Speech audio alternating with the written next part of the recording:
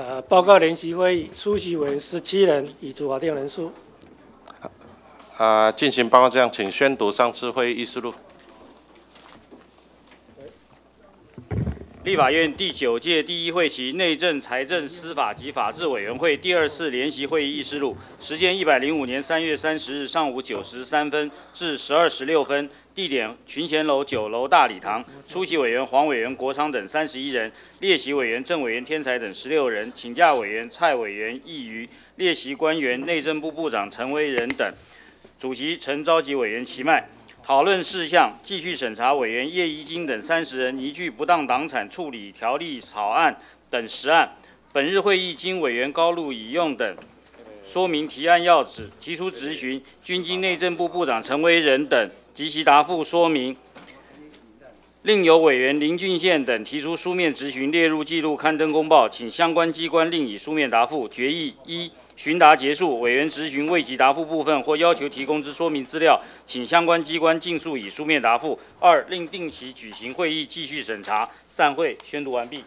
好，请问各位委员对于上次的议事录有没有错误或遗漏？只要没有错误遗漏，我们议事录确定。我们现在进行讨论事项，来。讨论事项继续审查委员叶宜金等三十人依据不当党产处理条例草案等十案。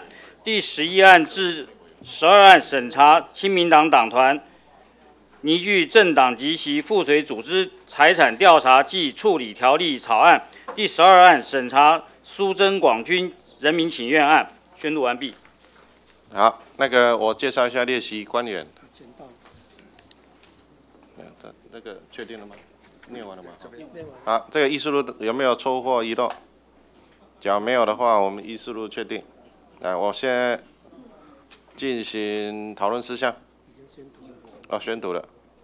现在介绍列席的官员哈，来，好好，我马上马上，我介绍完。内政部的花敬群政务次长，好，那这个不用鼓掌，可以吗？哎，啊。司法，哦，是委员哦。是委员吗？不是委员呐。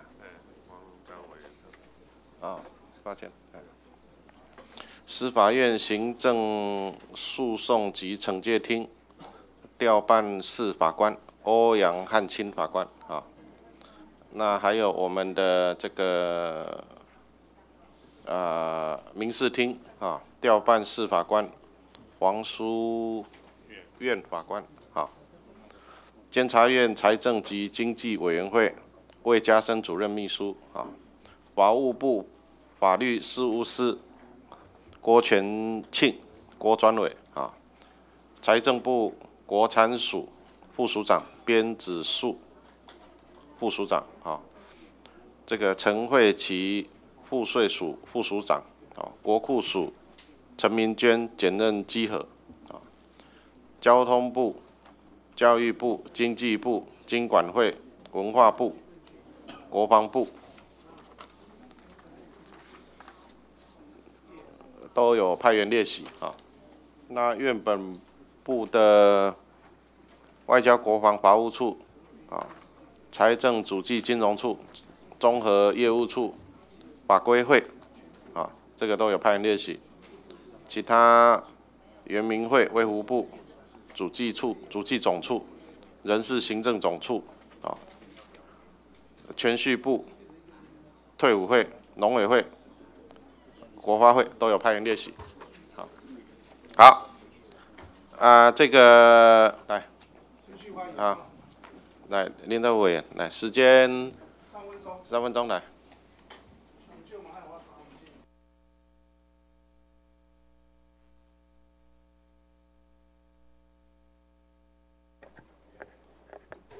主席啊，各位委员同仁，首先我要请教主席啊，主席，那个时间停一下。今天为什么内政部长没有来？为什么内政部长没有来？为什么今天这个时间停起来？为什么内政部长没有来？他有跟我请假，哎，他有跟你请假。那内政部刚刚上任而已，今天这要审这个案子，他没有来，那我再请教，今天这个所有的版本全部都是委员的提案，没有行政院的版本，而且也没有你们现在民进党提出来的版本。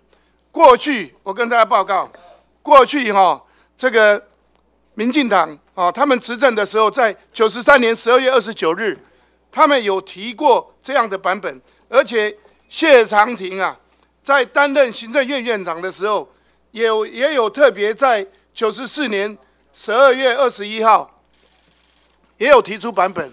那今天所有的版本，全部都是只有委员提的版本。我想今天这样怎么审，对不对？现在是民进党完全执政呢，从不管是立法院也好，中央也好，到地方完全执政，但是没有民进党的版本，只有民进几乎都是民进党委员提的版本。你说这个怎么审？对不对？那难道没有没有行政院了吗？对不对？那你谁执政谁负责嘛？你总不能说只有。对不对？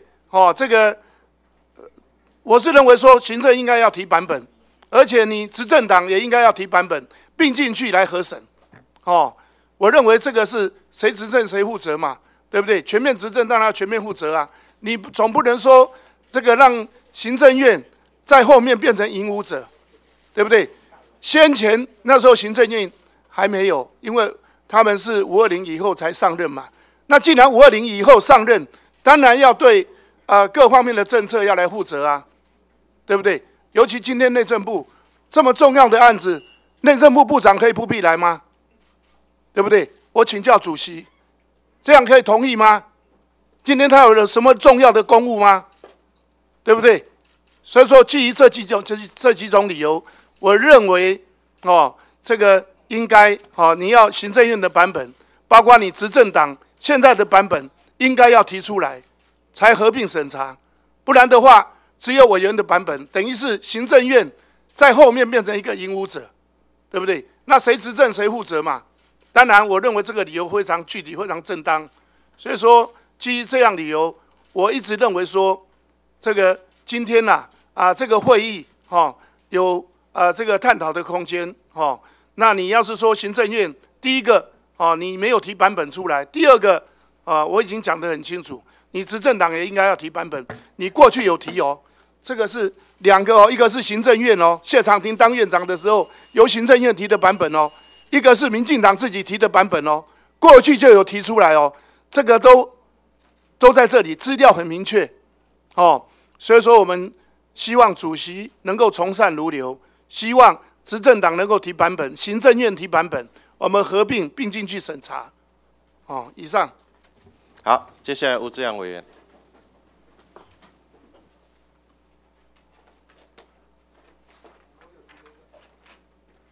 好，主席，各位同仁哈，呃，我刚刚也是吓一跳哈，看到这个这么多的版本，啊，没有执政党的版本，也没有行政院的版本，因为小英总统一直把这个转型正义啊当做他的重要施政，而转型正义其中，我印象中。他把不当党产的追讨是当做他的重点啊。那既然这样，我们五二零以后，前面我们知道大家花了很多时间在开公听会啊，啊，在讨论个别委员的提案。但是如果这个是新的执政党的政府，他所要主要推动的，我们很希望看到执政党的从党团方面的意见啊，不是个别的委员的意见。另外。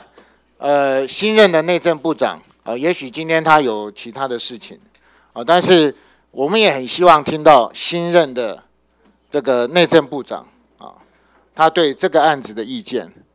因为叶君荣教授啊，他以前在台大法律系是我的老师啊，所以我印象中他是对宪法他有非常深入的研究啊。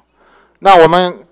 社会上对于这个不当党产处理条例的做法啊，有没有违宪是有很大的疑虑的啊，所以至今没有行政院的版本，我们也很希望稍微暂缓一下，看看我们内政部长他是宪法的专家，这又是内政部主管的业务。我们希望他在院院会里面，行政院院会里面经过讨论以后，还要不要提这样子的条例？还有提，如果要提的话，它会长什么样子？我觉得这应该审慎的，呃，提出来啊。那今天如果草率行动，又没有执政党的版本，也没有行政院的版本，会让人家觉得，是不是当时选举的时候喊得很大声，选票骗到以后又不认真推了呢？啊，所以我觉得这件事情应该要三思，也请主席啊，今天我觉得没有必要再继续进行实质的讨论，谢谢。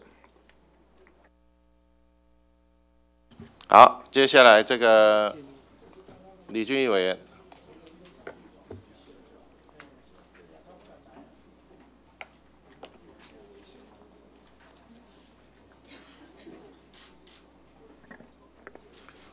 啊，主席，各位先进哈。今天是行政院组阁以后第一次开行政院院会，那内政部长参加行政院院会，我们认为这个是很正当的理由。来，啊来，阿立马听人讲，尊重一下哈。来，啊，我刚刚听了林德福委员跟吴志阳委员的发言，我发觉狼又来了，狼又来了。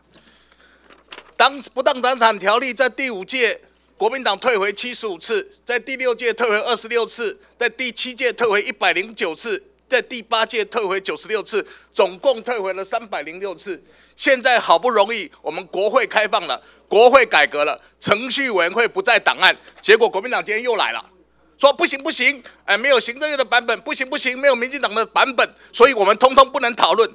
国民党不是也大而皇之的提出来一个国民党党版的政党财产监督管理条例嘛？那我们也可以从国民党的党版来开始嘛，对不对？所以不要再用这种方法来阻挡，这个本来就是人民关心的议题，就一个一个来讨论嘛。主席也没有说今天就全部要出委员会啊，主席也没有说今天就全部讨论完呐。那我们所有的版本都是这样。同样的议题，如果有不等不同的版本，那慢慢的进来，然后大家再整并再来处理嘛。那国民党如果这么坚持说，哎，一定要有党版，那我们今天就从国民党的版本版本开始吧，看国民党的版本到底适合不适合嘛。国民党在第五届、第六届、第七届、第八届连版本都不提，啊，也也不让人家审案子。现在好不容易开始审案子，今天狼又来了，今天狼又来了，又不能审了。哦，知识体大，所以不能审，所以。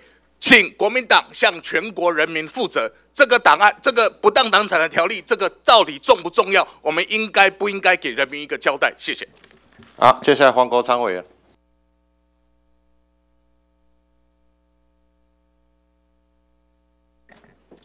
哎，谢谢主席哦，我呼应李俊英委员啊，刚刚发言的内容啊，我刚刚坐在下面听啊，我实在听了觉得非常的讶异啊。亚裔说啊，本本院各个委员会在审查法案的时候，什么时候以行政院跟民进党版本之提出啊，为程序性的绝对必要要件？如果未提出啊，会造成程序性无法进行法案实质审查的障碍事项，而遍查立法院职权行使法议事规则，看不到任何这样一个法规啊，是不是可以请主席顺便问一下？我们法制局的人员啊，是不是有这样子程序上的规定？是我有所疏漏，完全不知道。第二个部分，到目前为止，本月已经三读通过的法案当中，是不是那些法案都有行政院的版本，都有民进党的版本？那如果没有的话，那些法案是怎么完完成三读的？我想各个版本呢，从复委审查到现在，经过了大体讨论，经过了公听会。有许多正反不同的意见都已经进来了。我希望这个委员会要把握审查的时间，不要再遭受到任何程序上面的悲歌，那早日呼应人民对于实现转型正义、追讨不当党产的诉求。谢谢。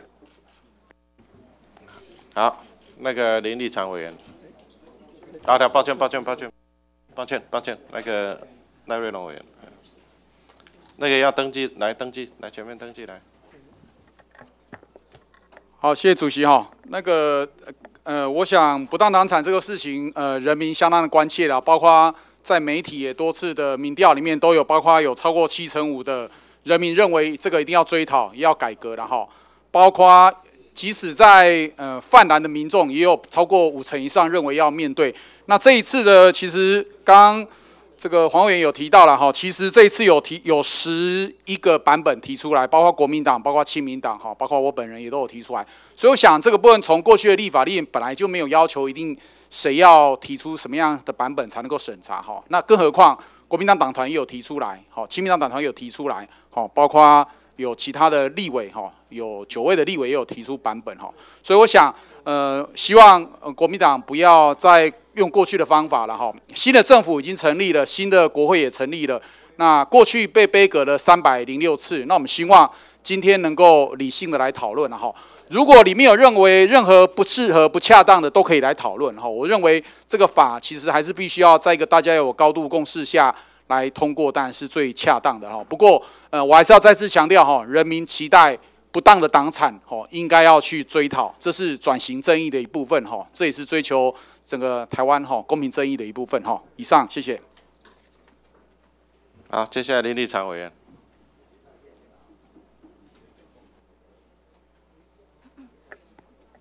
呃，主席，各位呃，先进大家早哈。那其实。立场对于呃不当党党产这个说法，当然我个人觉得啦哈，如果他真的很重要，我们内政部长应该要在现场了哈。如果真的很重要，那如果这件事情对人民真的很重要的话，呃，我觉得说呃全体大。大大家都要一起来针对这件事情逐条去处理了哈。如果真的很重要，行政院版本一定要出来去做对照表，不是说呃规定可不可，而是如果真的很重要，如果真的是国门国人想要的，呃所谓的政党法要设定一个比较合理的政党法，然后符合大家的需求的话，如果真的很重要，不是要针对呃国民党。的的党产法而已，因为所谓政党法应该是未来，不管是现在的政府还是现在，不管哪一个政党，未来都要适用，而不是只有呃框架在某个政党的定义里面了哈。如果真的很重要，请大家审慎的做这件事；如果真的很重要，请内政部长也要到现场，我们才来进行逐条。如果真的为人民好，请尊重人民的声音，谢谢。来，那个柯志恩委员，柯委员，来。主席，还有各位委员，大家早安。我想呢，身为一个第一次到这个地方来，然后看到不当胆场的这样子一个条例当中呢，我想呢，我完全支持我们本党刚刚的一个说法。其实呢。我们从国民党这个败选开始，每个人都把这个不当党产当做是一个我们转型正义的第一步。其实，身为一个新科的立委，我们也很想透过这样子的一个法案，能够协助，起码对我个人来说，知道从过去到现在，所谓不当党产它的定义。如果从这个过程当中，每一个政党都完全是非常公平的原则之下面，透过一个这样子立法的一个原则，我相信呢。不仅可以还给国民党一个公道，我想也可以完全符合所谓社会的一个期待。那既然是这么样的一个政党的一个一个法案的话呢，我们当然希望能够在程序上面呢，能够更加的一个完善。刚刚我们的李我们的李委员有特别提到了，国民党党的非常的多次，那是因为国民党在执政的过程当中，他们在那个过程当中，他们自己本来就没有提出一个部分。那现在呢，民进党已经执政了，我相信对于面对这么样重要的一个法案，应该在过去应该有开过。协会应该是横跨司法法制，也横跨很多内政委员的这样的一个部分，包括很多的行政单位，应该对这样的一个法案呢，应该有提出充分的一个准备。所以，我们今天并不是要挡这样的一个部分，我们今天也不是要放任大家继续骂名国民党不敢审这样一个党。我们所要求的也不过就是一个在程序上面能够更符合法治，在程序上面给更多的时间。如果呢，因为有更多的时间提出一个行政院的一个版本，因为更多的时间可以让所谓的内政部长来到到此的备询，你想国民党有机会再去挡这样的部分吗？我们要求的也不过是一个。能够更完整、更有一个准备的一个时间来给行政的单位给我们这样的一个需求，所以这样的一个要求是一点都不过分。所以我们再一次的强调，身为国民党的党员，我们一点都不会想去挡这样的党产，只这样党产法案的一个审定，我们只要求一个程序上能够给我们一个更合理。更符合社会期待的这个部分。这是本席今天所要特别所提出的呼吁。谢谢。好，接下来蔡宇委员。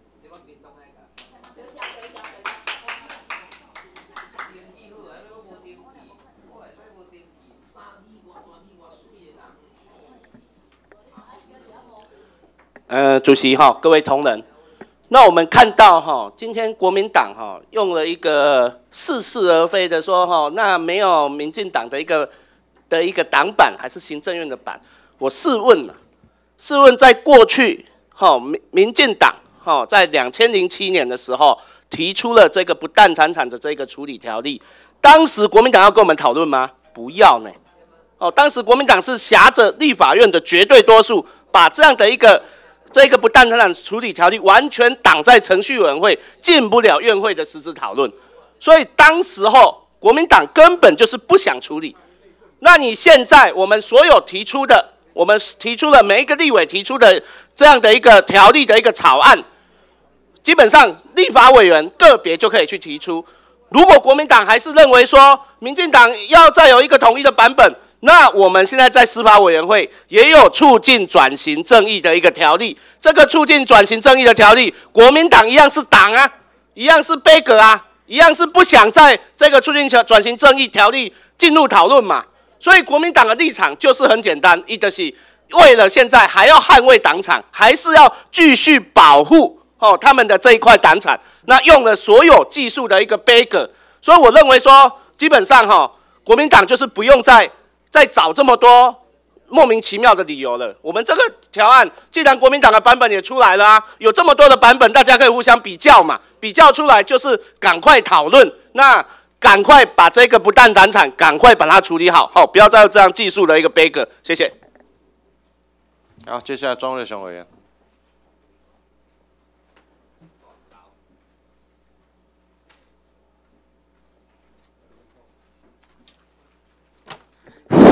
主席，各位同仁，我想今天呢，这个国民党的呃朋友们呢，让我感到非常敬佩了啊。今天我相信呢，这个整个法案里面呢，到底要审，还是要继续个乱了哦？大家心里头其实有一把尺了。国民党可能认为说，这个时间呢不够充分。国民党可能认为，呃，行政部门的对岸，那为什么好像没有提到？国会里面来，这个我在这边，呃，也可以来提出一点意见，让我们国国民党的朋友好好的思考一下。国会啊，尤其是我们国会议员呢，我们在国会里面是合议制啊，我们立法委员才是提案的主体呀。天底下哪有说什么一定要行政部门的一个提案才能够审查？这个案子从旧国会到新国会，那国民党一直挡。我话钱啊，开不了呀了嘛，免动啊哦。所以我是不是呃，请我们呃国民党的呃同仁呐，这个与其这样一路挡到底，多余的一点时间出来，你自己回去查一下，中国国民党的党产就是一直在偷卖，你的你多留一点时间，是你自己的党产被你们自己偷卖光，哈，叫广告细成这样样，怎么会没有其他的意见呢？一百零五年。就是今年呐，二零一六啊，四月二十八号，公听会一本假令的大本，你拢无看到。你们结果来了一位徐正伟徐委员，这么多学者专家，挺国民党的嘛一堆，意见全部拢拢你讲，啊，你讲拢总无算，啊，无写那套准省。所以我认为，今天呢，我们希望啊，可以按照整个程序啊，该审查，然后刚一让大家表达不一样的意见呢。其实本来就是从来没有人会去阻挡国民党委员的呃一个发言呐，所以与其这样不断的这样去挡，这个挡这个很恐怖呢。第五届、第六届、第七届、第八届，加加的拢总三百几届，三百零六次这样的一个次数啊，真的是吓死人了。你说在第七届里面一百零九次。第八届高十六届，拢要剩八届，什么省这个整个党产会违宪？这个这个这个的算计哦哦，什么样的一个心态，路人皆知啊！啊，可是啊，用这样的一个方式对整个程序上的提出啊这样的一个拖延的一个战法，其实我相我相信老百姓心里头非常清楚啊。我们也请国民党能够三思，是到最后还是拖垮你自己啊？所以，我们请啊，我们今天到场的这么多认真的委员呢，我们就大家给尽一点啊心嘛。这个案更加心细的，更加关出去啦。啊，国民党你这个过程来的，赶快提出你们的看法、你们的意见呐，不要用各种程序的方式来做背格啦。好，接下来这个王玉明委员。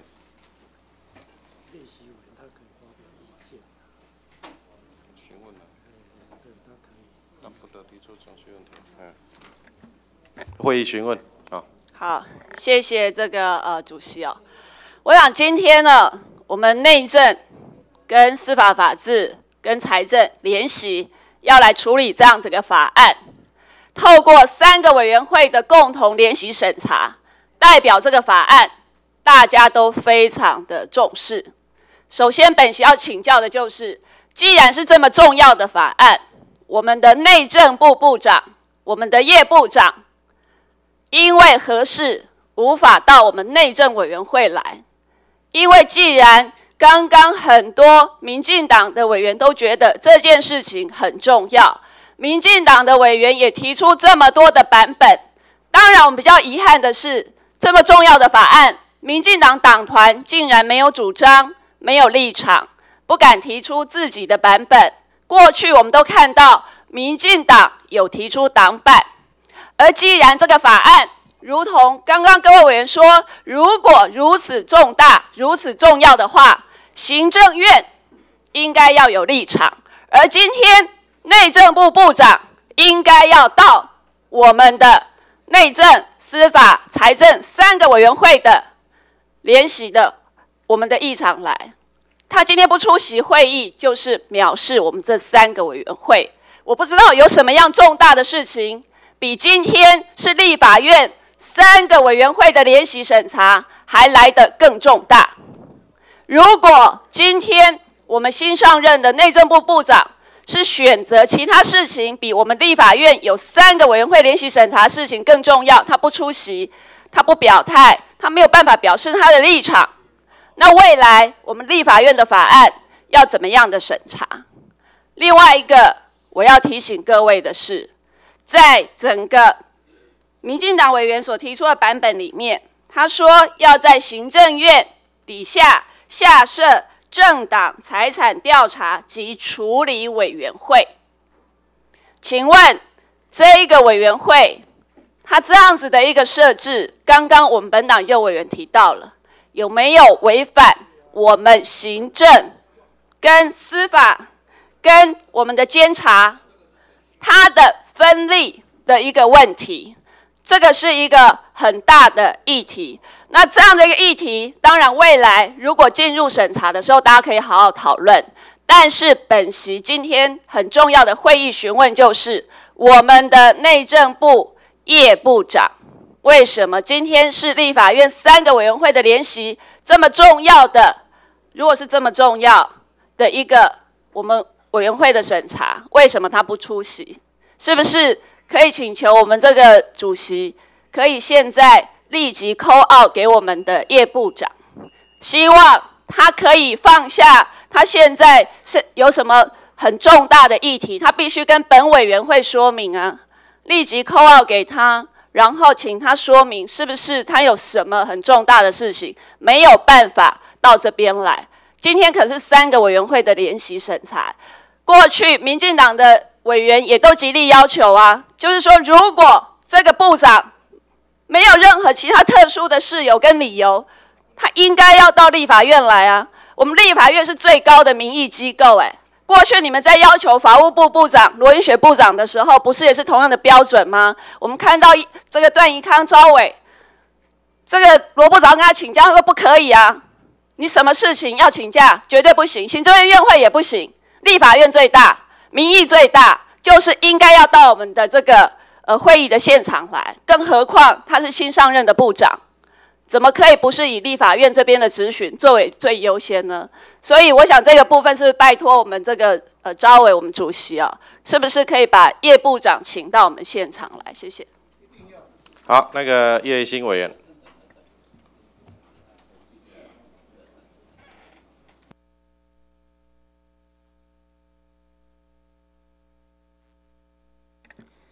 主席、各位同仁，啊。因为我是提案人之一哈，所以我必须要来说一点事情。第一，我们觉得很遗憾，呃，国民党到现在还是不太清楚什么是人民的声音。竟然还有国民党的委员说，今天不要审，才符合人民的声音。不知道已经有多少份民调显示，人民的声音是超过七成，希望可以处理国民党产。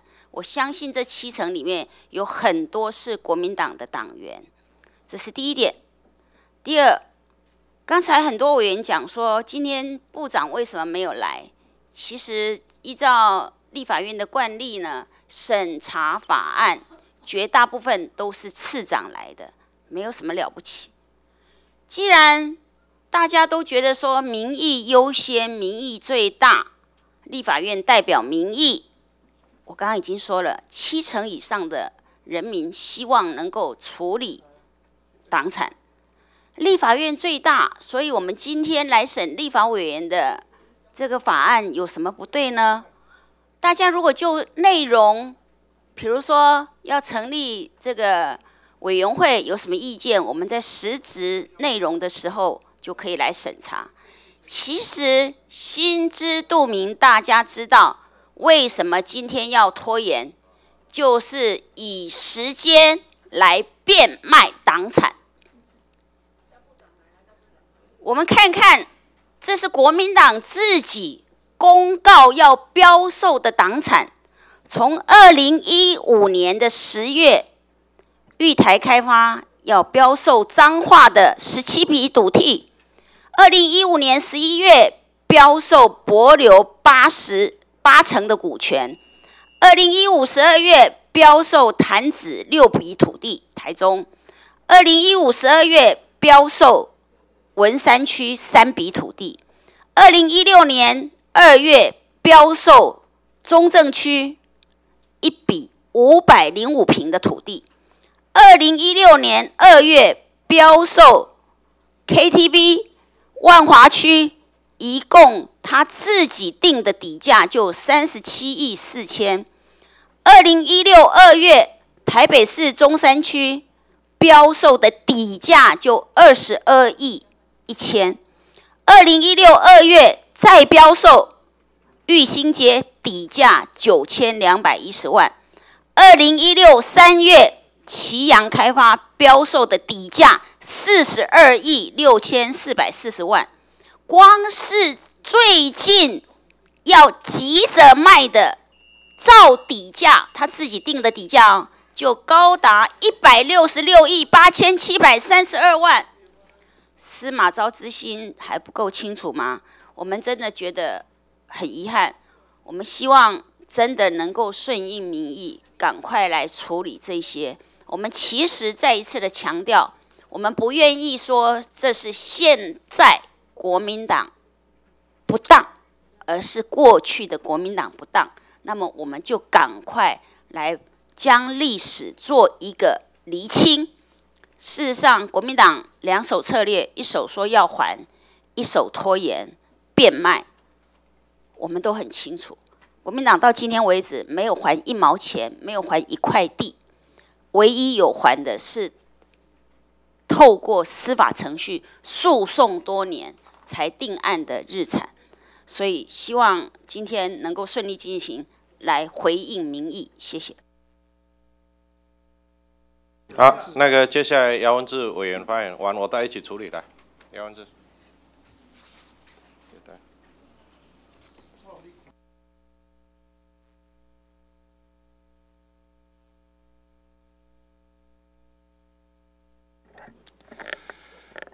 好，主席各位先进。事实上，我在旁边看到国民党委员的诉求了哈。这个内政部长要来，啊，了解了解啊，我们在审查重大法案的确啊，那这个某一个程度来讲啊，其实我也可以也可以接受了哈，也可以接受啊，但是立法院的惯例其实都是招委同不同意请假，那今天是行政院的院会啊，新的部长，新的应该是。呃，第一次的行政院院会，啊，到底哪一个重要啊？其实很难讲。不过我想要换一个角度哦，提醒国民党的委员，这个案子就算部长来了，啊，拖了一次会议，拖了下个礼拜，拖了一个月，对你们真的有好处吗？真的有好处吗？敢在这时候赶快把党产卖光吗？但是对在座诸位委员，对你们几位本身有好处吗？啊，柯委员在笑，应该对你你不会有不会有半毛分到你身上吧？啊，这林德福还这么认真啊，我也猜想应该也没有你身上应该也没有吧？国民党为能为什么不可以？啊，不可以换一个策略啊？这过去企业界有蓝海有红海，啊，社会的趋势已经发展到这里，啊，人民已经投票做了决定，国民党还要拥抱着，啊，腐败不堪的旧思维，还要拉紧的党国体制的旧绳索，还在这里苟延残喘，还在这里困兽之斗。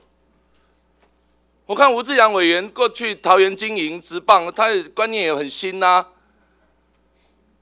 为什么不跳开这样的思考？今天如果国民党跑得比民进党更快，自己把自己的党产，哎，在内部你们内部的会议，赶快把它清清清清楚。你看经管会前主委在这里，他对这个一定可以查得非常清楚。啊，他提的版本，赶快把国民党的党产。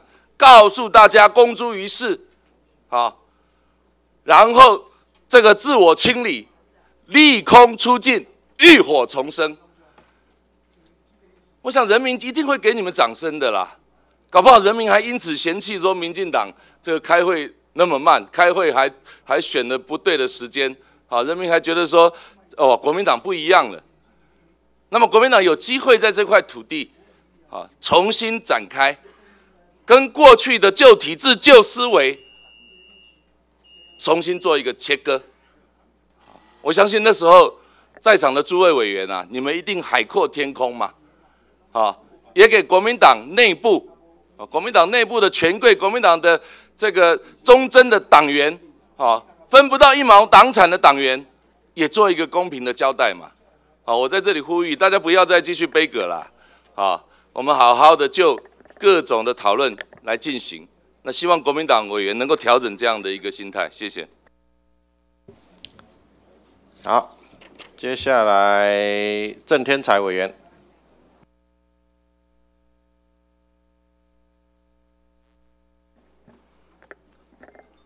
呃，主席，啊，各位委员，今天讨论这个案啊，这个事实上，在过去，这个监察委员呢。黄黄雄监察委员当监监察委员的时候啊，就在监察院来立案调查，也做了调查，啊，也完成了调查。所以，如果我们从这个案例就可以了解整个整个调查前呢，啊，是在这个监察院，所以这个主管机关呢。啊，是应该要放在啊监察院，所以这个如没有确定的话，啊，所以今天这个呃到这个部长来还是次长来，啊，都必须要先啊厘清的部分了，因为五院都有五院的一个权责分工嘛，在这样的一个权责分工里面，因为他有实际调查权的。就是监察委员啊，过去黄黄雄监察委员，他做这样的一个对所谓的不当党产也做了非常非常详细的调查，所以没有人去怀疑，也没有人说他不应该去调查，也没有说他不应该是这个监察院的执掌这样的一个呃说法，所以整个今天所要讨论的这个案，当然是要先确立到底是。这个内政部啊，还是财政部，还是行政院，还是要由监察院，这个是一个要首先要厘清的部分。第二个部分呢，在大家都记得哈，这个当然有新新科的委员不知不知道，在上一届第八届的立法院呢，当时在审。经自由经济示范区的相关的法律的时候啊，当时的主管机关是国发会，立法院，包括经济委员会，当时都要求，因为这个是一个重大的法案，重要的法案，所以都要求这个所长要亲自来，所以当时啊。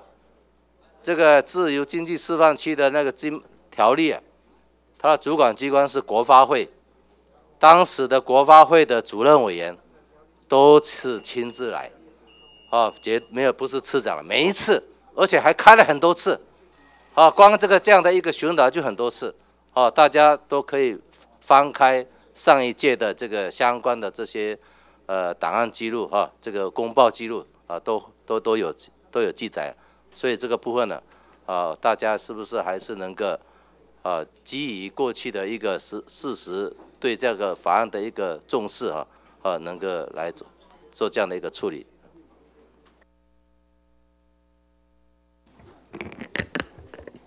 这个，郑明忠委员。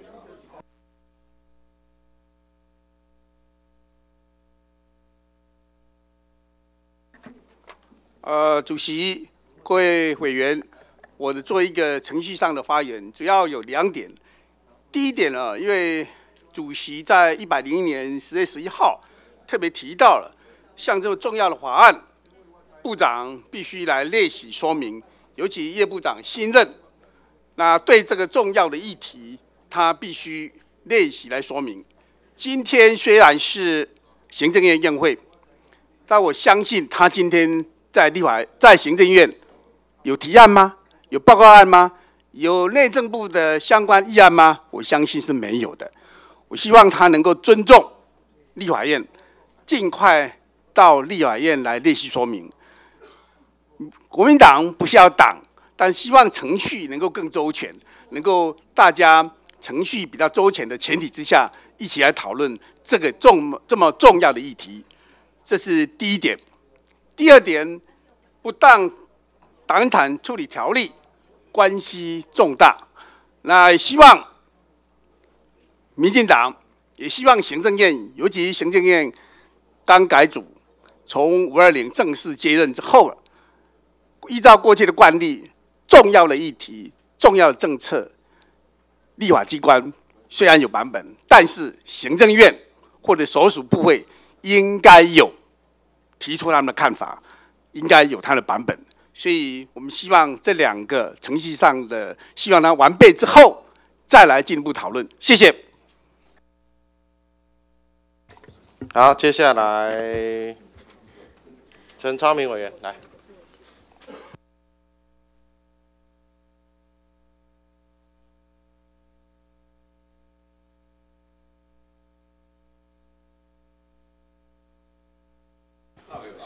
陈超明，陈超明委员不在场。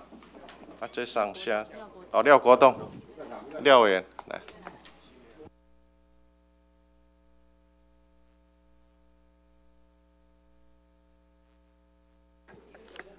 啊，主席，各位委员，啊，我们今天呃，针对这个不不当党产条例啊，啊，我刚听了几位委员的说法，我深有同感。最起码呢。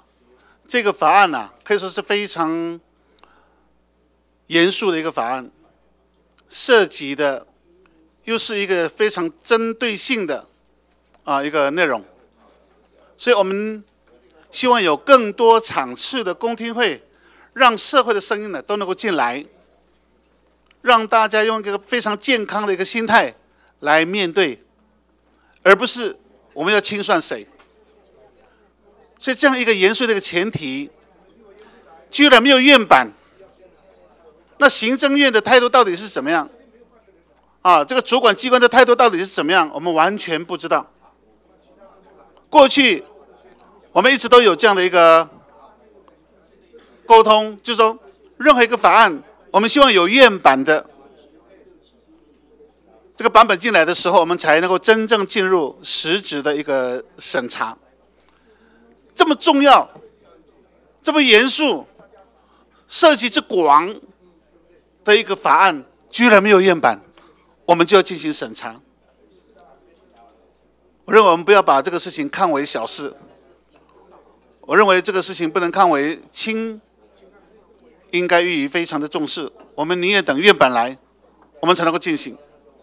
第二呢，我本席看了今天出席的。机关的代表，我们的说法还是一样，这么严肃、这么重要的一个法案，但是部长没来。我不晓得今天部长是那个那个主席啊，部长是签盖呀，有跟你请假。如果是院会，就应该择一个不是他能够来的时间，我们我们再来审查会比较好嘛。那是一个最起码的一个尊重啊。对本委员会的一个尊重，对委员的一个尊重，没有来，我不晓得怎么审下去了。以后礼拜四都是行政院院会，所以说立法院全部都要休息。就变成是这样子了，对不对？他根本就没有把这个这个法案放在眼里嘛。所以我这次的强烈建议，我们今天呢做意见交换可以，不应该直接进入实质审查以上。好，这个接下来柯建明委员。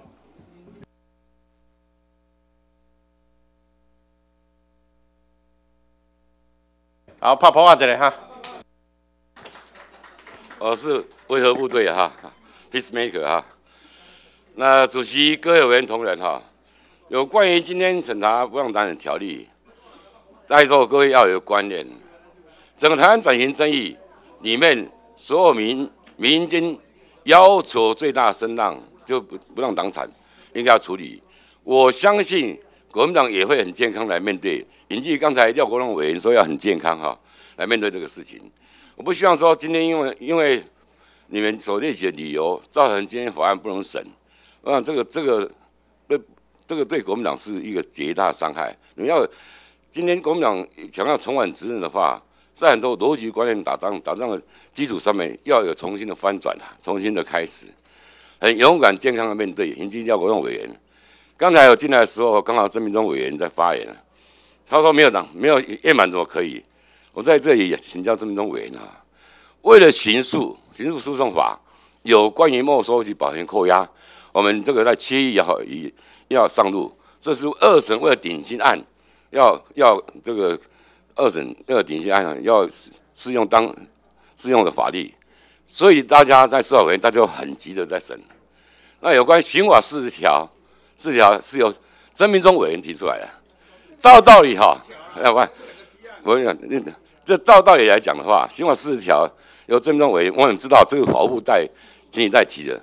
照道理这么重大版本，而且这个法通过以后，拉好诶，有三百亿可以要回来，所以大家很急。所以现在上两个礼拜前，这么多委员才代替法务提案嘛。所以说，到底立法院在审查法案，是不是要有行政部门的案子？那个这种案例太多了。优卡，好，优卡让你知道，电子票件法也是当初有这么重大法案由丁守中委员提的。我想你也在当监委会主委，我就特别说，就说这么多委员都很清楚吧，好。所以大家知道，另外没没有一个议事规则中，哎，无相应的案未在信的，哎，找不出这个，没有行政法法委员个人提案，乃至党团提案，通过比比皆是。至于现在民进党有很多人提案，哦，我们都很清楚，这个法案在过去被挡了将近三百次。但是呢，刚才有人提到说，民进党执政时候也提过版本啊，是向样当院长说没有错。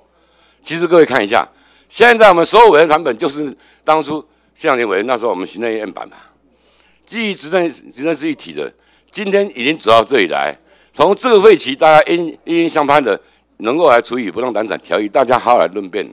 啊，那我想这个是给国民党一个重新再造一个极大机会，请国民党委员不要放过，放啊放过这个历史的机会之窗。你今天在这一挡，我想我想这个是诶挡不住的，大家勇敢来面对，这是我个人看法哈。另外，各位不会说要不要来啊？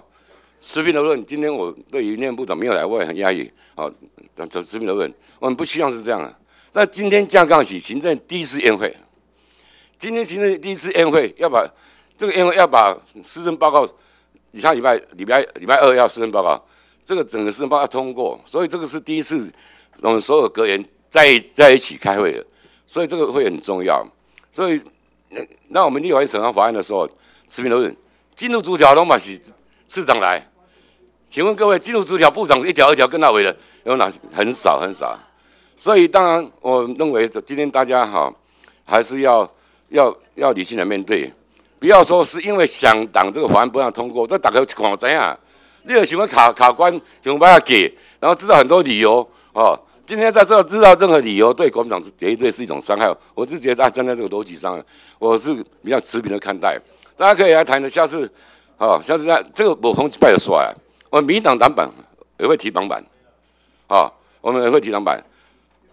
啊，那我们都没有关系，差不多差不多，只是在部分条文上面有有改正，所以该行该行拢照常行啦，从这行先念念再用行啦。为你这无空一摆就刷啊，你国民党无空还我一摆就出委会，我们也不会干这种事情。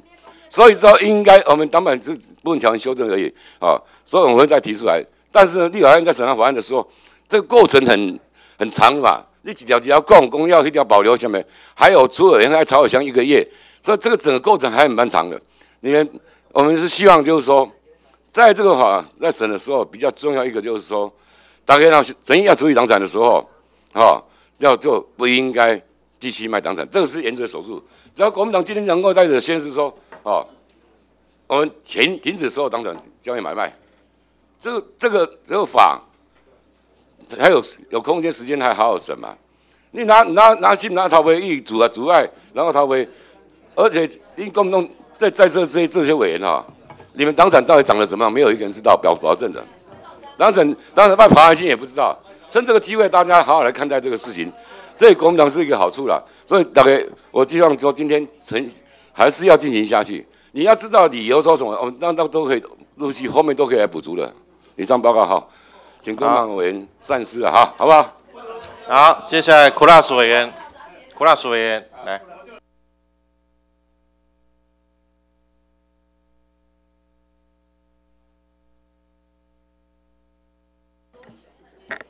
主席，各位呃在场的所有的同事哦，呃我是新科的委员呢，代表的新的名义，所以从刚才听到现在哦，我个人是有一点错愕的。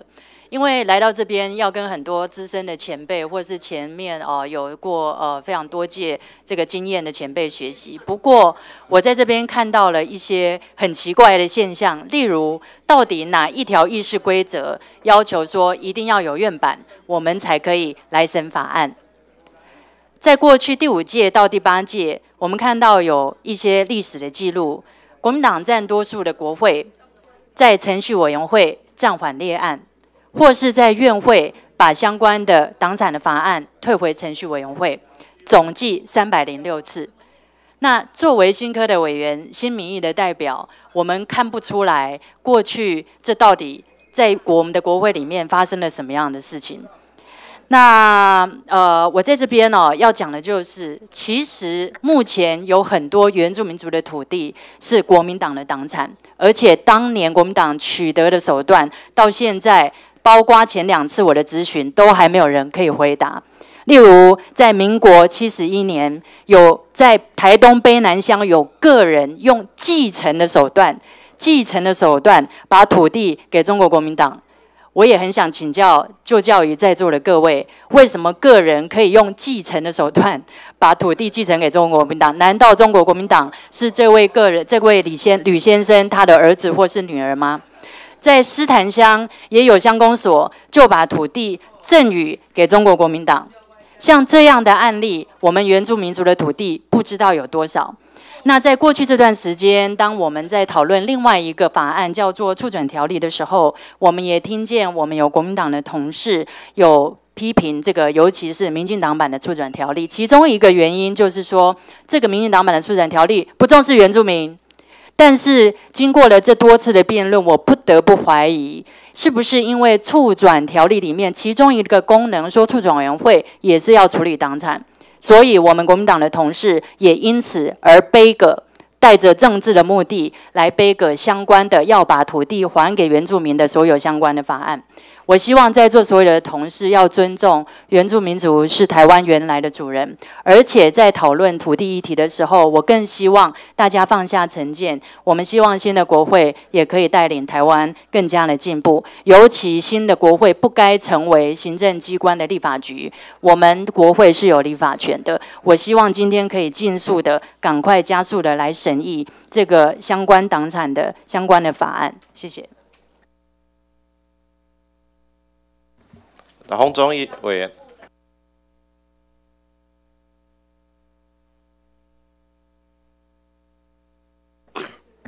主席，哎，各位委员哈，那我想哦，针对今天的开会哈，其实我很纳闷呐哈，主席，我们今天的这种类似的会哈，包括说我们今天我们的会议的名称，我想哦，在我们的开会通知里面，它除了写到。是不当党产的处置条例之外，包括亲民党党团凝聚的，它是政党及其，诶附属组织财产调查及处理条例草案，所以不是只有在处理这个不当党产的问题而已哈。那我想内政部所提出来的这本报告，我觉得它是对国民党非常的宽容哈。他写到的这个报告是政党及其附属组织财产调查及处理条例草案呢？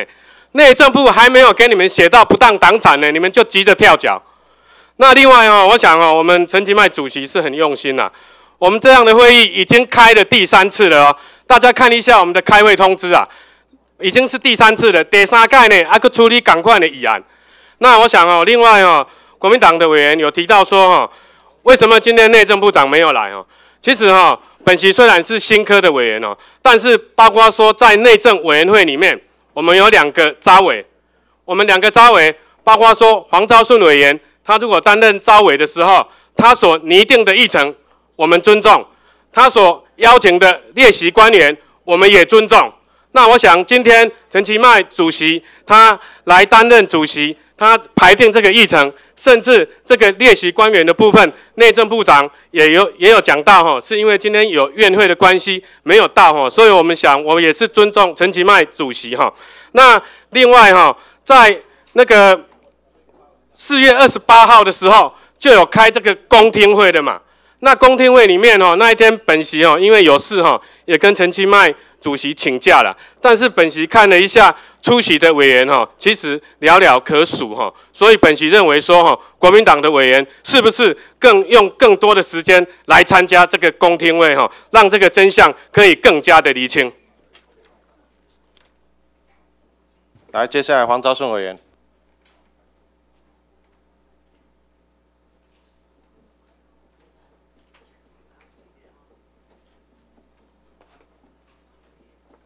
主席、各位同仁哈，我想过去我们在这个委员会当中，包括尤其是张庆忠在当主席的时候，大家应该记忆犹新。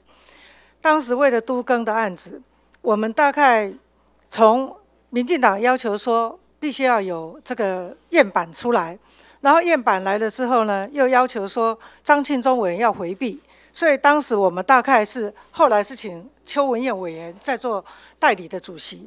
那刚才虽然柯总召他讲到说，诶，我们整个的案子其实，在九十三年的时候，民进党的党团有我们燕总第一四三四号委员的提案，那当时是民进党党团的提案，包括一燕总第一四三四号也是。谢长廷当院长的时候，也有政党不当取得财产处理条例的草案送过来。那在整个的过程里头，我们现在所看到的条文里面，并没有任何一个党民进党的党版，也并没有任何行政院的党版。那尤其是五二零之后，我想部长已经就任，包括楼上的环境诶卫环环境诶环保署的署长。那主席也做了决议，说他一个小时以后宴会以后，他会到委员会来。所以我想，我们从以前一直到现在，我们都是一直要求我们的部会首长必须要到委员会，尤其是第一次我们内政的这个部分，我想我必须要再要求我们的主席，希望我们能够按照以往我们的惯例来处理。以上，谢谢。好，接下来徐永明委员。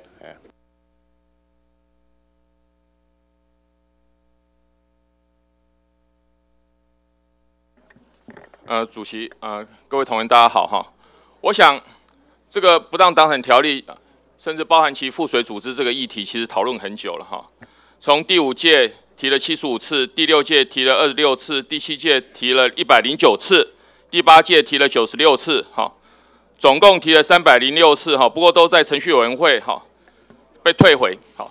所以我的意思说，这个议题不是新的议题，好。那我们这个议题，我们这个法案其实也不是针对个别的政党，哈，是要让台湾变成一个正常的民主法治的国家，哈。当然，从时代力量的角度来看，这个党产存在当然是不公平的。可是，我觉得从台湾民主角度的发展来看，好，不论是对国民党，不论对其他政党，党产的处理，其实我觉得不只是一个转型正义，更是一个正。现代民主国家，哈，一个最正当基础的建立，在这样基础下，我想台湾民主才得以长期、长远的发展。所以我希望不要再用任何其他的理由说啊，有没有院版啦，好，再用其他的理由来讲说有没有这个行政官员的意见，或是列席，或是我觉得这些理由，就像我前面讲，五六七八，总共三百零六次，这个议题在台湾已经是纠缠台湾民主政治。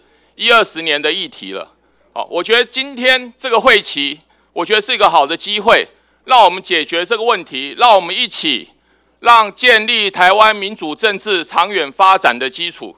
我还是要恳请各位同仁，好，我觉得我们是在创造历史，好，这个虽然很多人讲说啊，这是台湾民主的特色啦，好，过去一党独大，一直到现在党产的存在，好，可是各位，就像我们在谈论。红十字会法一样，好，我们都是希望建立一个正常民主的国家。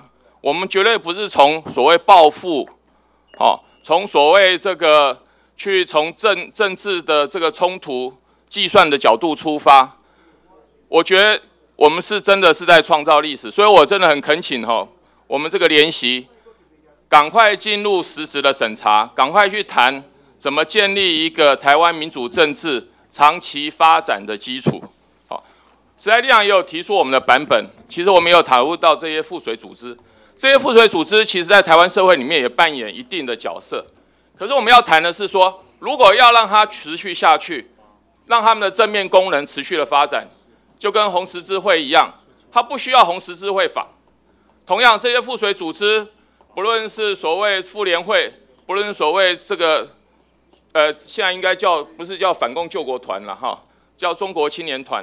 他们在社会里面也扮演一定的角色。可是我一说，何必让他们污名化？何必让他们一直有这个附水组织？哦，根据党产而来有的优势，让我们一次把台湾未来民主政治的公益基础建立起来。哦，让他们不要去污名化，让我们未来国民党的同仁在选举的时候也不需要遭受这个党产的污名。好，谢谢。好，好所我们所有程序跟会议询问都发言完毕。好，那我现在做说明之后啊，我们再来做处理。第一个就是说，这个刚刚有委员指教啊，说本席在民国一百年审查政党法的时候的发言，那那个时候是因为啊在进行询答的过程，那询答政党法的主管机关是内政部部长没有来，啊，那所以在询答的时候，本席有要求说部长要来，那我们现在是已经进行这一个第四次的我们内政会内政委员会在审查有关这一个不当党产处理条例。这已经第四，已经进入逐条的审查。那我们内政委员会过去曾经做过决议啊，在进入逐条审查的时候，政务首长哦一定要来。所以我们今天的花次长有来，这是第一点跟各位说明。那第二点，今天叶俊荣部长今天在行政院院会，好，因为有防灾业务的报告，所以叶部长的这个是非常重要。现在汛期已经到了啊。所以在院会，那我也要求说，那等他报告完之后，等一下再来，我们回头再来做处理。所以今天我们的花市长先行代理啊。那第三个，这个程序的问题，今天国民党党团有提了一个案，啊，那我这个按照立法院哈，我们的立法院议事规则第二十二条，好。出席委员提出权益问题、秩序问题、会议询问或其他程序之动议，应以书面提出。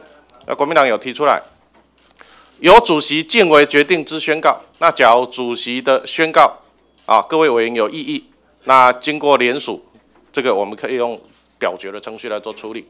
好，所以本席啊，本席认为啊，这个啊，主席认为好，相关的这个议案，我们继续进行审查。好，请问各位有没有异议？好，有异议，那我们来进行国民党议案的一个表决。来，我请议事员宣读来。中国国民党党团提案，党产条例相关提案，恐将剥夺人民团体，尤其是政治团体及个人之法定财产权，有违反宪法平等原则及三权分立、权力制衡等相各项民主基本原则之余，影响层面巨大。基于责任政治及政党政治，行政院及民进党团应以正式提案之方式，表达政府及执政党团之立场。现行审查版本仅有委员个人提案，基于责任政治，个别委员代表性恐有不足，且易沦为打压在野党之打手。行政院、民进党党团。反成为本案之引武者，行政院及民进党团应正式提案交付联席委员会并案审查后再行处理。宣读完毕。来来来来。好，现在有国民党党团提案啊。今天第三次啊。啊，部长要等一下就来了，十一点就要来了，部长就来了。好，这个。因为我们现在在议案在处理了哈，处理完我们做一个协商好不好？我们把先把这个程序结束掉哦，我们再进行议案的一个处理。本次会议如有异议哦，这个国民党提案要记名点名表决。那那我们就进点名点名来，点名来啊。好，这个我们进行点名表决，赞成国民党提案的委员啊，那我请议事人员呃逐一唱名好不好？有出席在场的委员逐一唱名来。没来哟。好，那我们就继续进行审理啊。那我们现在休息，好，协商一下。来，等一下这个案哈，来我做一个宣告。来，刚刚那个案，国民党的案哈，国民党的这个案啊，那国民党是不是同意撤案呢？国民党是不是同意撤案呐？